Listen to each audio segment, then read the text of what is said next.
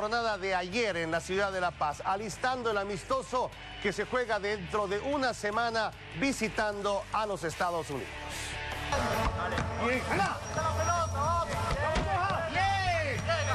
Segundo día de trabajo de la selección nacional. Nuevamente el complejo Rafael Mendoza Castellón fue testigo de la tarea del cuadro verde. Una sesión de gimnasio como también dentro del campo de juego fue supervisada atentamente por el técnico venezolano César Farías.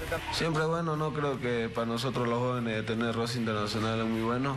Creo que gracias, gracias a Dios se notan las cosas y hay que aprovechar esto de la mejor manera ya que no es todos los días. ¿no?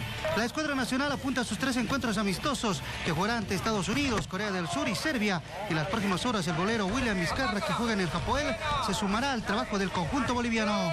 Que con sacrificio, humildad podemos, podemos llegar muy lejos y, y nada, creo que hay que trabajar esta semana para llegar bien al partido.